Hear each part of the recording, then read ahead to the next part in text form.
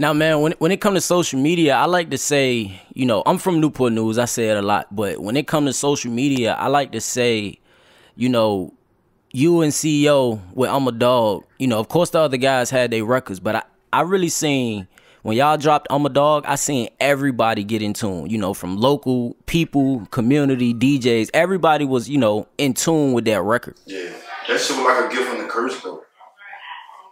Why you say that? Because it's like, yeah, a lot of niggas was showing like, er, like a lot of niggas was in tune with the song, loving the song and shit. But that shit actually, like when people started seeing it getting bigger than what it was, it actually made people jab kind of like I can't even I wouldn't even call it hate. It's just like hey, the nigga, uh, you gotta think we from. A nigga don't never want to see you doing better than him. So nigga like damn, his shit doing that, my shit can do that. Shit, all that extra shit, and then that started making niggas start hating you for real.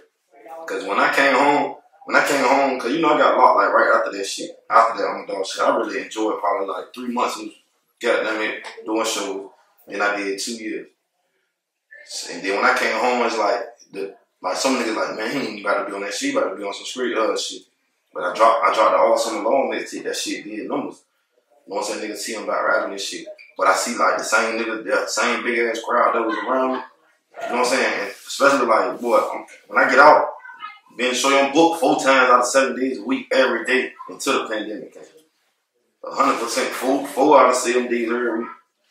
So it's like there was a big ass crowd, and then it turned into a big ass crowd to a handful of niggas.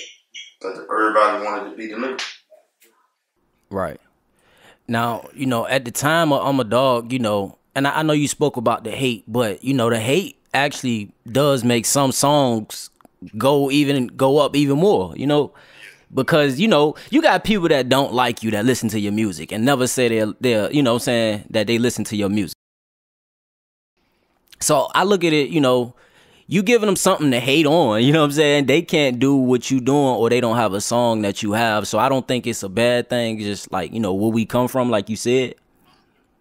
But they couldn't stop it. So that's where I, am a little bit confused. They could even with the hate, they couldn't stop that. Uh, you got things six years later, they pumping that shit.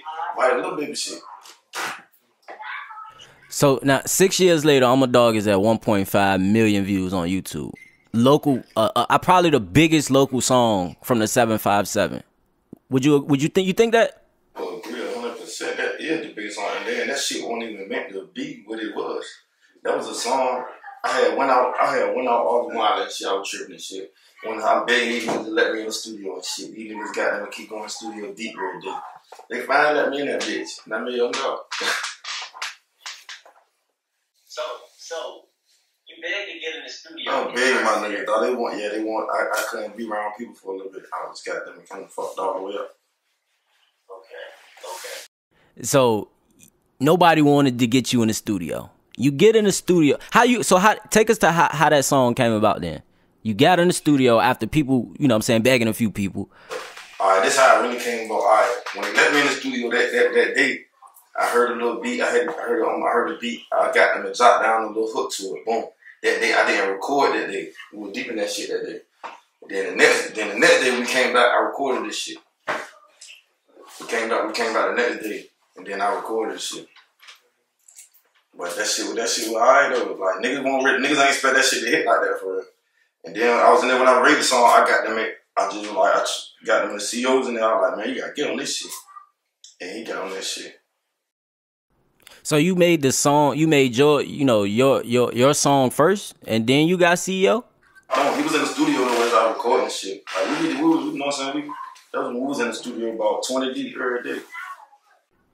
So before CEO got on it, did you expect it to, or did you know it was one of the ones just already, or you thought it was? Like boy, I made a banger. I ain't know, like I ain't never look at it like boy.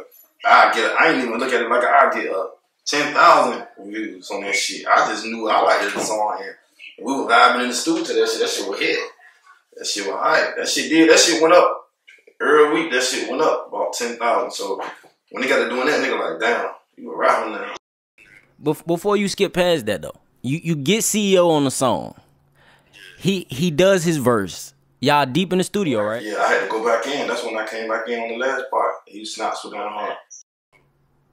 So what what's at the at the CEO lay his his verse, you do your you go back in a second time. What's the reaction in the studio when they hear it? That shit was knocking. Dream Rich had best equipment, cuz. Don't go for it. People shit would hit. That boy shit with dirt. Shit would hit. That shit. Nigga, like, boy, we shot the video the next day. That's how, that's, that's how hard that shit was. We were getting so many reactions off just, you know what I'm saying? You know, Instagrams and shit, all that shit. Cause niggas had of followers and shit already. So it's like, that shit was just, that shit got a boom. They were fucking with that shit.